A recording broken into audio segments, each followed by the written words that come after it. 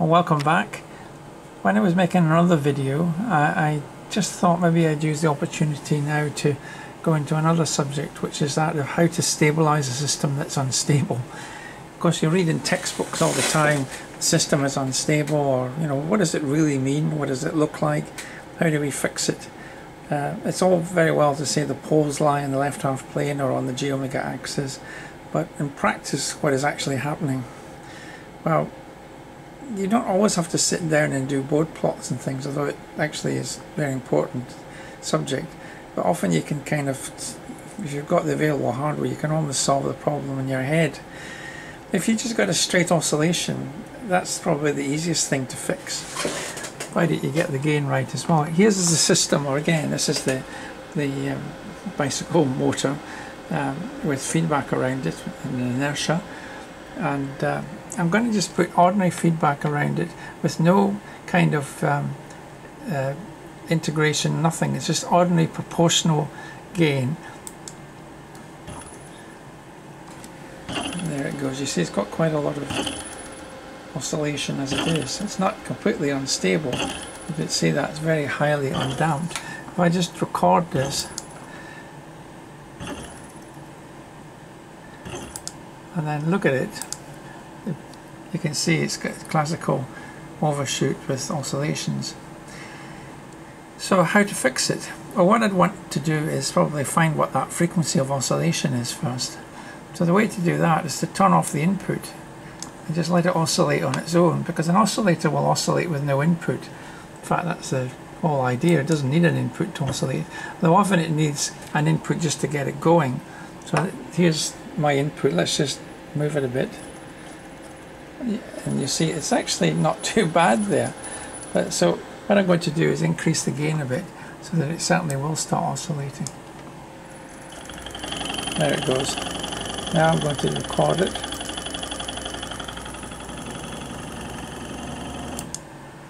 And here we go. So there's a lovely oscillation. It's slightly biased and uh, that's because I didn't set the um, start it from zero. But because I've got a built-in spectrum analyzer uh, I can read exactly that the frequency of oscillation is 25 Hertz. See that? that's kind of handy. Now I'm not suggesting you just happen to have a spectrum analyzer available all the time but if you've got an oscilloscope you might have that. Of course it's more difficult with analog with the digital systems you have to get an output first. Here it's all done within the LabVIEW software so I can do it relatively easily. Uh, I'll just measure it one more time just to emphasize that. So let's start it again and I'll zero it this time and then start it. There it goes. Now it's gone off but taking about 18 amps. There's a classic oscillation. We'd say that was unstable even though it's a sustained oscillation. Let's record it stop and there it is. It's it's actually a really nice linear looking os os uh, uh, waveform um, sinusoidal waveform at 25 hertz. So how do we fix an oscillation at 25 hertz? Whether it be analog or digital the the process is exactly the same. By that I mean whether it's a uh, analog servo or a digital servo. Here over here from my book I've got a little bit on uh, phase advances. So the phase advance is the key.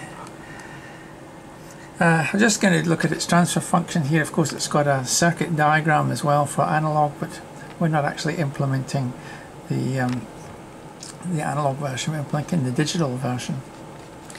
And you'll see in most textbooks the phase advance is 1 plus ST1 over 1 plus ST2 T1 and T2 are time constants and T1 is always greater than T2. If you make it the other way around, T1 is less than T2, then you get a phase lag compensator. You don't want that. You want phase lead for the reasons I'll show in a minute. Uh, and there's a few things about this. The ratio T1 over T2, we usually make about 10 to 1 for reasons we'll see in a minute. Um, if we draw the Bode plot, uh, the magnitude does this, it sort of goes goes along flat at 0 dB, that's unity gain, then it goes up at 20 dB per decade, and then flat again um, at this frequency here, 1 upon T2. 1 upon T1 it goes up and then it flattens off again. The ratio from 1 upon T2 to 1 upon T1 I call the span ratio. wasn't my idea, it came from somebody I knew in industry. And if you plot the phase, you get something like this. This nice positive going phase, and this is what we need to stop the oscillation. If you if you know your Bode plots, you can know that the uh, sustained oscillation is caused by zero phase margin or negative phase margin. So when you pop this in at the right frequency, then you, you magically will have a phase margin of phi max. Now what is the phi max? Well phi max um, is related to the span ratio. It turns out to be, uh, what is it, um, arc sine of the span ratio minus 1 over the span ratio plus 1. Um, don't know if I've got it here. It's in another bit of the book. Uh, but anyway, for for this ratio 10 to 1, if that's 10 times that frequency, then you get a phase maximum phase here, the bulge of the phase going up to about 56 degrees, 55 point something, 56 degrees, and that makes a decent phase margin. So all we need to do is design a phase advance with the center frequency here. That's the frequency where you get the maximum phase, and that's the clear. That's the the key frequency in a phase advance. Make it at, uh, I think we measured the, um, the, the, frequency at 24 hertz. I think we can do it again if need be. So make this 24 hertz. That gives us this frequency and that frequency. That's very easy to do without going into the details. And then once we've got that, we've got the time constants, and then we've got the transfer function, and it's very simple to do then. Uh, now I've, I've written our program, of course, in LabVIEW um, which uh, does phase advance. Uh, here it is here. It's in a sub, so I don't have to. Always good practice to have subs.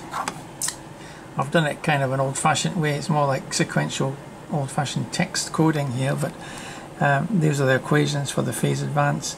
Um, it's more like a MATLAB program, really, isn't it, than a LabVIEW program? But I could have done it um, with block diagrams if I really wanted to, but in this particular case I did it this way. It's called a formula node.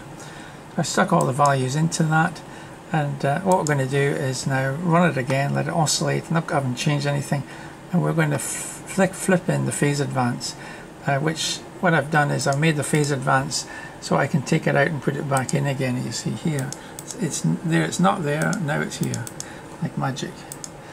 And uh, again, that's another thing it's hard to do if uh, you've got a real-time program, um, you know, in a micros. It's, it's, much easier to do in these kind of things for teaching purposes. So let's run it again, and um, I'll put it on record. And uh, what's it doing? Oh, the power supply is tripped out for some reason, so just and restart that.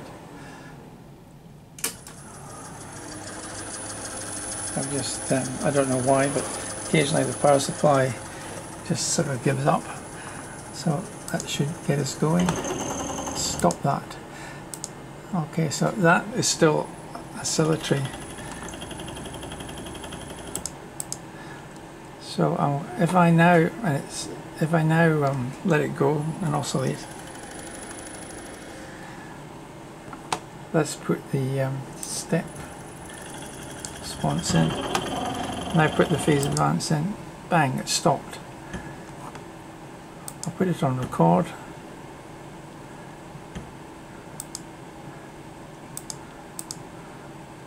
Oh, there it is. The red is the input and the white is the output. It's a very nicely damp response.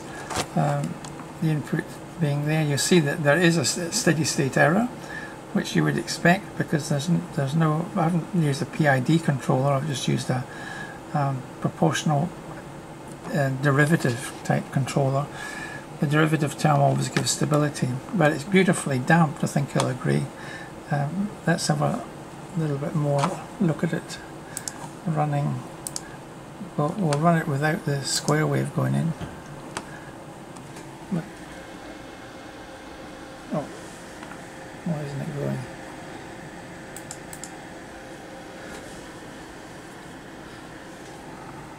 Oh, it's not. There we go. It's not switched on. So that's it with, with the square wave. nice damp response. Let's turn the square wave off down here. Now I've got control of it with my um, this thing here.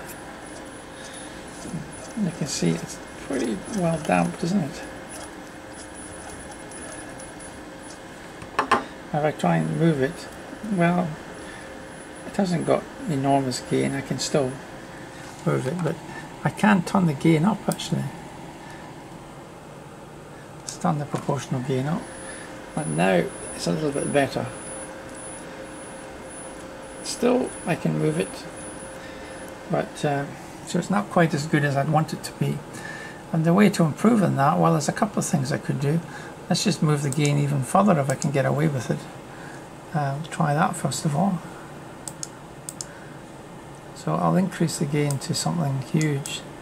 And if you can get away with this, it's you can, but it's not always a great idea because you end up doing something else that you shouldn't be doing. So let's let's up the gain. Oh, you see. Now that's much better. I can feel that doesn't move at all now. An enormous gain, but it's beginning to oscillate at another frequency higher up now. Hear that? Now zero this. Get it oscillating again. Have a see if we can measure it. Record. Stop. Ah, oh, there it is. Ah, well, it's not so easy to measure this time because it's got all sorts of harmonics and things on it, really. Um, so that's not a, a, a, neat kind of oscillation like the last one was. It's probably some kind of vibration at high frequencies. Um, but you want to avoid that if you can. Um, so you'd like to make the gain infinite if you could, you can, but it's not going to be always uh, possible, obviously. Let's run it again. Turn, it, turn the gain down. There. So that's not too bad, that's a sensible kind of value. I've got the gain set for about 500 now with one phase advance. And let's just let's just put this uh, square wave back in again see so see what the response is. Record it.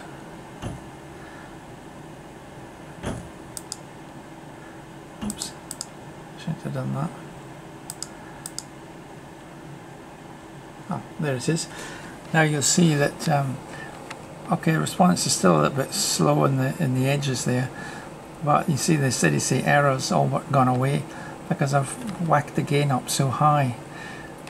The easiest way to get rid of steady state error is just to have the gain very very high but usually when we put the gain very very high we run into oscillations um, either the initial one that we had uh, in the experiment or the higher frequency one which we ended up when I put it even higher. So uh, usually we put some kind of low pass filter up at high frequencies to try and stop these high frequency oscillations if we if we can. That's the structural resonances and things. They do in fact restrict our bandwidth. But anyway, that gives you a rough idea of how to um, stabilize a, a, an unstable system. You just use a phase advance, measure measure the frequency it oscillates at, put the phase advance in at that frequency. So it's not a P plus D controller. This is um, uh, just a phase advance on its own, really, with a gain. There's no extra integral action or anything like that. Thank you very much.